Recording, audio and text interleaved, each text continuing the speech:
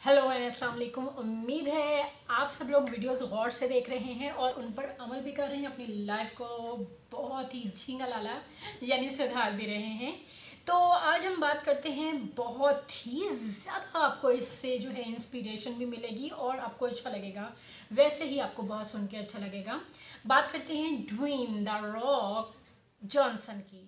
तो हॉलीवुड के tough guy और टॉप अर्नर्स में उनका नाम शामिल है। दुनिया उनको एक आइकॉन जानती है मगर रिसेंटली उन्होंने अपनी बारे में एक अप, अपनी यानी पास्ट लाइफ की एक हिडन जो बात थी वो रिवील की कि किस तरह बरसों के डिप्रेशन पर उन्होंने काबू पाया और वो इस काबिल हुए। अब ये स्टोरी है बहुत ही इंस्पिरेशनल भी है।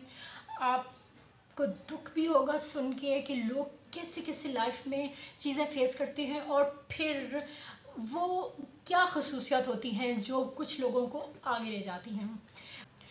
जो स्टोरी उन्होंने अपने बारे में रिवील की है, उसमें वो बताते हैं कि सिर्फ़ पंद्रह साल की उम्र में ही उन्होंने अपने अपने अपने पेरेंट्स को वो देख रहे हैं कि वो स्ट्रगल कर रहे हैं और छोटी छोटी छोटी छोटी जो ज़रूरियात हैं, जो रोटी खानी है उसके लिए भी वो स्ट्रगल कर रहे हैं लाइफ में और जहाँ वो रहते हैं, उसका किराया नहीं है उनके पास और मालिक मकान उनको कह रहे जी, खाली करो खाली करो। वो इसी तरह की, जी, आज करेंगे, कल करेंगे। कोशिश कर रहे हैं कि किसी तरीके से किराया पूरा कर दें। मगर होता है ये कि एक दिन पूरी फैमिली आती है, बच्चे स्कूल से और माँ बाप काम से आते हैं तो देखते हैं कि जी एविक्शन नोटिस लगा हुआ है और वो बेदखल कर दिया गया घर से। ओह, अब हुआ ये कि वो इतनी डिप्रेस होती हैं उनकी मदर कि वो भागती हैं, भाग के जो ट्रैफ़िक आ रही होती है तेज़ ट्रैफ़िक आ रही, उसके सामने जो है चली जाती हैं। लेकिन लकीली फैमिली जो है वो उनका बेटा जो जॉनसन है, वो उनको खींचने में तो कामयाब हो जाता है। मगर उस वाक़े ने और फिर उसके बाद की जितनी भी स्ट्रगल थी उसने वो डिप्रेशन में आ, वो चले जाते हैं। और उस डिप्रेशन का नतीजा ये होता है कि उनका फुटबॉल कैरियर तबाह हो जाता है। एक एक जो गर्लफ्रेंड है उसके साथ ब्रेकअप हो जाता है। और वो लाइफ में बहुत सी मुश्किल रहते हैं। लेकिन फाइनली फाइनली कैसे ओवरकम किया? क्योंकि इससे पहले वो कहते हैं कि इतना ये पॉइंट आ गया था कि मैंने दुनिया बिल्कुल छोड़ दी थी। क्या करना है? यानी इसके बारे में सोचना ही छोड़ दिया था। और बिल्कुल रोना, मुसलसल रोना मुसलसल रोना। डिप्रेशन कोई छोटी चीज़ नहीं होती है। जब जब ये आप के ऊपर हावी हो जाए तो फिर इससे निकलना बहुत मुश्किल होता है, लेकिन इम्पॉसिबल नहीं होता। तो किस तरह जॉनसन ने इस पर काबू पाया। उन्होंने अपनी inner strength no finding the inner strength is very important अपनी इनर स्ट्रेंथ और वो सुसाइडल नहीं हुए, जैसे कि उनकी मदर ने अटैम्प्ट की उन्होंने एक वादा किया उस टाइम कि अपनी मदर को भी खुश रखना है और ख़ुद भी सारी फेजेस से निकलना है। और उसके लिए कोशिश, क्योंकि हर कोशिश कामयाब उस सूरत में होती है, जब आप इनर मोटिवेशन पाते हैं कहीं से, जब आप खुद अंदर से कन्विंस्ड होते हैं कि you have to do this then you do this इस स्टोरी की सबसे इंपॉर्टेंट बात जो मैं आपको बताना चाहती हूँ, ताकि आप सीखें, वो ये है कि कुछ ज़िंदगी अपने हालात बदल नहीं पाते हैं।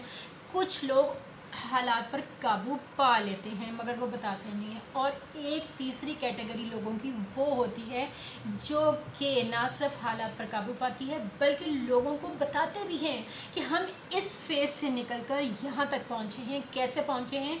और सिर्फ़ यहीं तक महदूद नहीं होते, बल्कि जो ड्वीन करते हैं कि वो, उन्होंने अपनी पूरी स्टोरी लोगों के आगे रखी कि मैं बचपन से ऐसा सुपरस्टार पैदा नहीं हुआ था।